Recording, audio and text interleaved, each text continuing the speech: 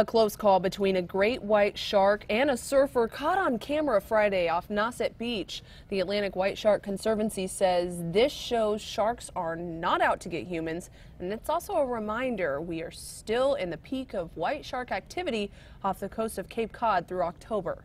Katie Johnston for WBZ News.